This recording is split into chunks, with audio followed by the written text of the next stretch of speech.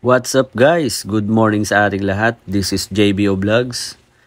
Uh, at bago tayo magpatuloy, don't forget to subscribe my channel and maraming maraming salamat sa inyong panonood at pagsuporta. Okay, once again, nandito tayo ngayon sa Grand Olive Homes ng Ager Mark Realty and Development Corporation. So located yan dito sa Barangay Tungkong Manga, San Jose del Monte, Bulacan. Okay? So ito guys, yung pinaka-entrance nyo. Ayan.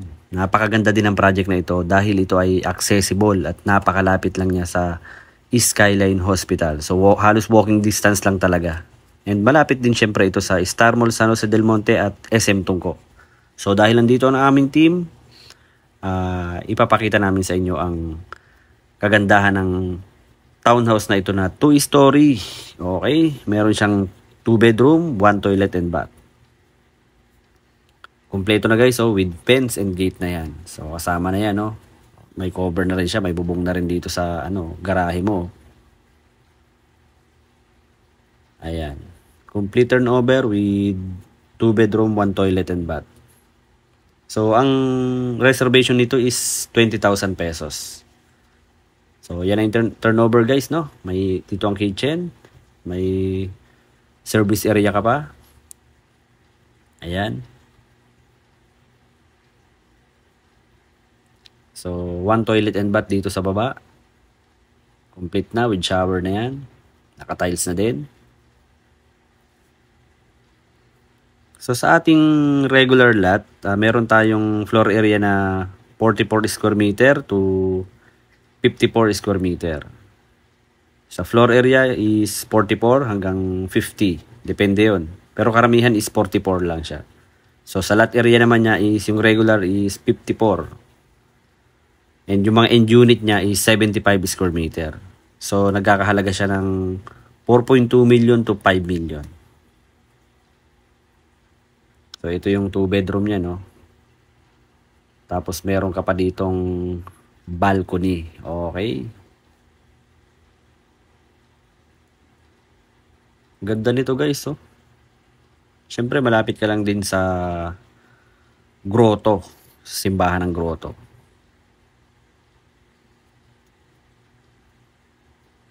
So, ayan lang yung paglabas mo, lalakad ka lang ng konti, dun banda yung highway at yung Skyline Hospital.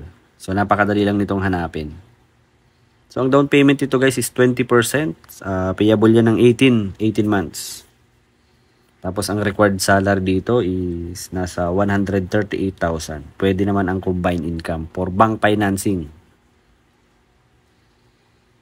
So, yan meron na naman kayong another option kung sakaling ang hanap nyo ay San Jose del Monte, Bulacan. Siyempre, pag malapit sa Quezon City, yan, San Jose del Monte yan.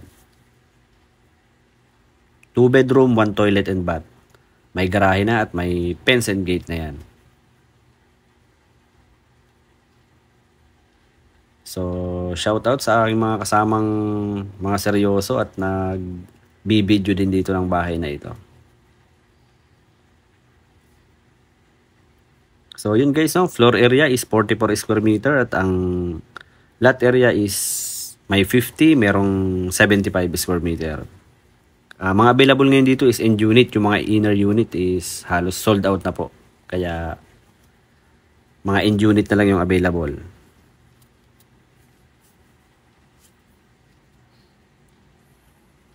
Okay.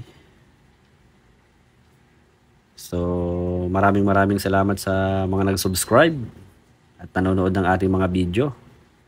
I-hit nyo lang yung notification bell para pag may mga bago tayong upload. At kung kayo ay naghahanap talaga ng mga house and lot, so may mga i-upload akong video dito ng mga house and lot sa iba't ibang lugar para magkaroon kayo ng idea kung ano ba talaga yung magandang bilhin at saang location kayo makakakuha ng inyong dream house and lot.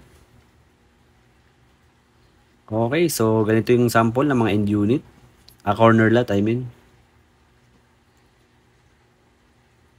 Yan.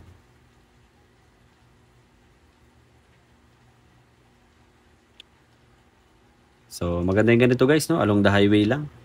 Napaka-accessible. So, yan siya, no?